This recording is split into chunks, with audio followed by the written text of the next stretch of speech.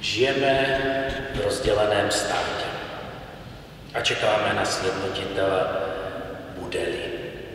A že hráme na touto bědnou situací. U nás se hodně žehrá, to nám jde. A těch rozdělených států je i úkol, jako když nesejí. A taková zajímavá věc. Velmi často je to rozdělení přibližně 50-50. Halb und halb. Nebývá běžné, aby jedna část společnosti měla 80% a druhá 16. Zbylá 4% by připadla nerozhodnutým.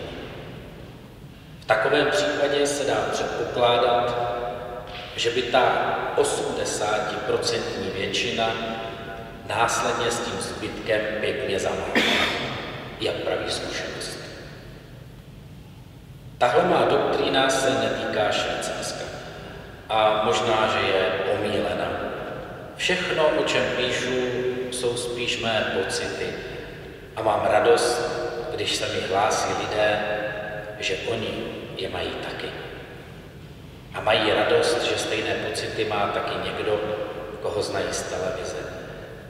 Trochu to zlehčuju, ale úplně vzdáleno pravdě to není.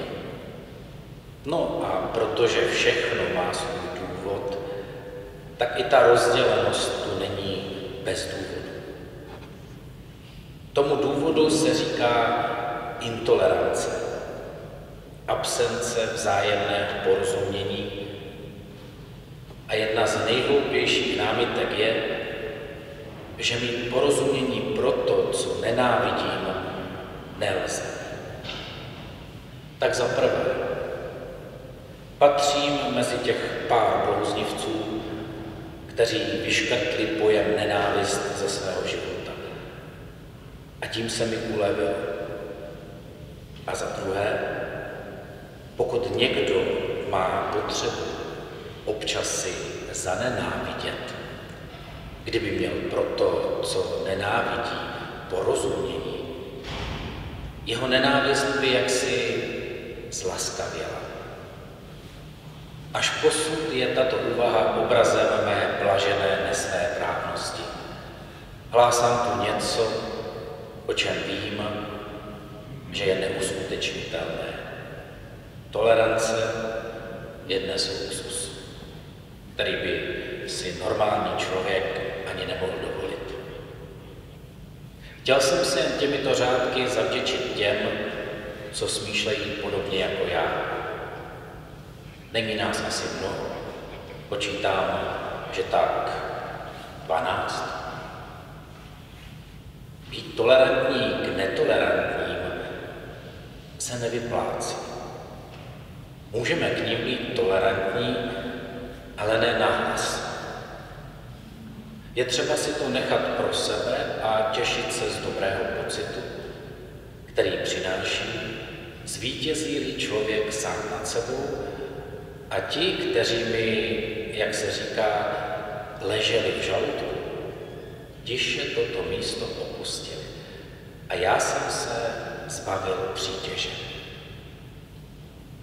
To jsem říkal arciže jinými slovy a pak jsem potkal muže, který mi děkoval.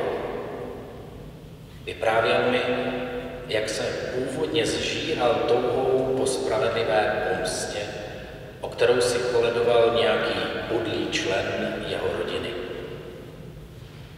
A pak ho napadlo odpustit mu jeho viny. A tak to udělal. A představte si, přestal se zžírat. Ne, že by začal vyníka milovat, ale začal mu být jedno.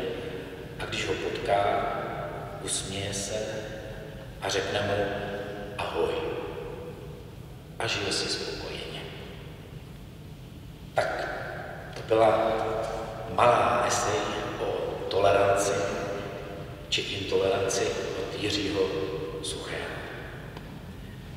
A my se můžeme posunout dál protože si myslím, že my tady určitě už jenom tím, že jste přišli, tolerantní jste a že nás tu určitě není jenom 12, jak si bláznivě myslí pan Jiří Suchý. Tak, pojďme dále.